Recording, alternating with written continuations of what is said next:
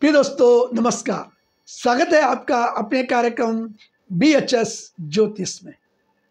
दोस्तों, आज मैं चर्चा करूँगा ज्योतिष में ऐसे ग्रह के बारे में, जिसके बारे में अभी तक आपको बहुत लोगों को ही पता नहीं होगा। और वो ग्रह होता है वर्ष कुंडली में जैसे आपकी जन्म कुंडली होती है, वैसी आपकी वर्ष कुंडली भी होती है। उस वर्ष कुंडली में एक ग्रह जो होता है, वो होता है मुंथा, जो कि बहुत ज़्यादा जिसका प्रभाव हमारे वर्ष भर हमारे जीवन में होता रहता है। नौ ग्रह तो आपने सुने होंगे। नौ ग्रहों के अलावा जो ये मुंथा जो ग्रह होता है, वो सभी ग्रहों की माता कहलाई जाती है। अगर मैं ये कहूँ तो अति संयुक्ति नहीं होगी। अब मैं बात करूँगा कि इस मुंथा ग्रह को वर्ष कुंडली में जो है कैसे देखते हैं? इसको कैसे निकाल करके इसको वर्ष कुंडली में स्थापित करते हैं? सपोज़ करो कि आपकी जो उम्र है इस टाइम वो 26 साल है। ध्यान से सुनिए। सपोज़ करो कि आपकी उम्र 26 साल है।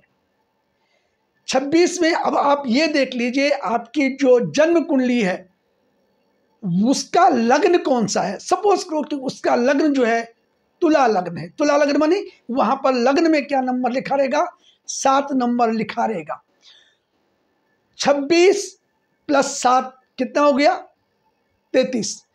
तैतीस में डिवाइडेड बाई बारह कर लो।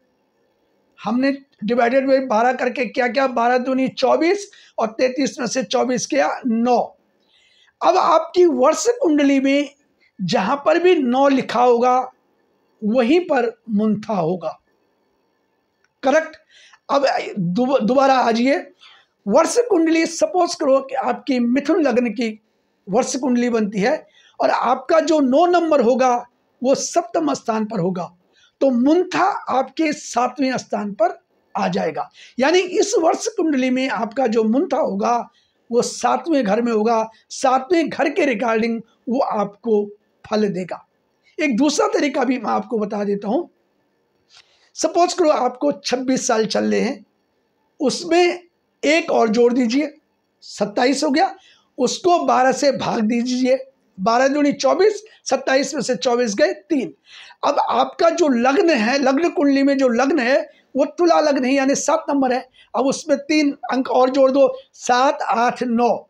यानी तीस, जो तीन अंक हमने यहाँ से लिया है, वो लग्न से तीन अंक जहाँ पर आता है तो वो अंक आया नौ। तो ठीक उस हिसाब से भी और इस हिसाब से भी नौ अंक आता है, जो कि वर्ष कुंडली में नौ अंक आपके सप्तम भाव में है। तो सप्तम भाव के रिगार्डिंग आपको मुंथा जो है, इस वर्ष फल देगा।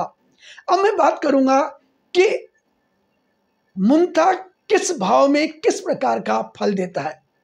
फल इसका विचार करने से पहले मेरे आपको आपसे रिक्वेस्ट है कि अगर आपको हमारे कंटेंट पसंद आ रहे हैं तो प्लीज़ चैनल को सब्सक्राइब कीजिए, लाइक कीजिए व शेयर ज़रूर कीजिए।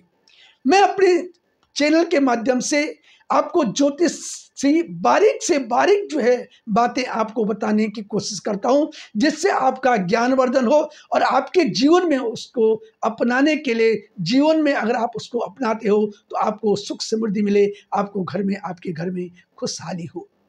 तो चर्चा करेंगे कि अगर मुंथा जो है अगर आपके लग्न भाव में ही होगा, ऐसा तो है नहीं कि केवल एक ही के लिए बात करूँगा। हो सकता है कि वो लग्न में आ जाए, वो ये जो जिसका छब्बीस छब्बीस वर्ष था, उसके लिए वो सातवें स्थान में आएगा, लेकिन औरों के लिए वो लग्न में भी आ सकता है, दूसरे भाव में। ऐसे टोटल बारह भाव में, किसी भी भाव में हो सकता है। तो सपोज़ करो कि आपका मुंठा वर्ष कुंडली में, अगर लग्न भाव में होगा तो आपको मान प्रतिष्ठा आपकी बहुत अच्छी होगी। आपके परिवार में, आपके अड़ोस पड़ोस में, आपके रिश्तेदारी में आपकी मान प्रतिष्ठा बहुत अच्छी होगी। अगर मुंता दूसरे भाव में होगा तो आपका धन धन का आगमन आपके पास पूरे साल होता रहेगा। धन की आपको कोई कमी नहीं रहेगी। अगर मुंथा आपके तीसरे भाव में होगा तो आपकी भाइयों के साथ बहुत अच्छे तालमेल लेंगे। भाइयों के साथ आपका बहुत अच्छा सहयोग रहेगा। भाइयों के साथ आपका जो है अच्छी अंडरस्टैंडिंग रहेगी। अगर मुंता चौथे भाव में होगा तो ये पक्का है कि आपके शरीर में दर्द होगा। आपके शरीर से रोग रोग हो सकते हैं। आपका शरीर में आपको बहुत ज़्यादा आलस्य आएगा। आपको छोटा सा छोटा काम करने के लिए भी आलस्य ज़रूर आएगा। अब मैं बात करूँगा, अगर मुंथा जो है पंचम स्थान में होगा तो आपको धन लाभ अवश्य होगा, चाहे किसी भी रूप में होगा, लेकिन आपको धन लाभ ज़रूर होगा। अगर मुंथा छठे स्थान में होगा तो आपको जो है रोग रोग जो है आपके पुराने रोग ज़रूर जागृत होंगे। हो सकता है कि नए रोग हो जाए, लेकिन रोगों से छुटकारा पाना आपको पूरे साल लगा रहेगा, यानी रोग से आपको पूरे साल लड़ना पड़ेगा। अब मैं बात करूँगा मुंथा अगर सप्तम भाव में होगा। मुंथा अगर सप्तम भाव में होगा तो धन की हानि ज़रूर होगी।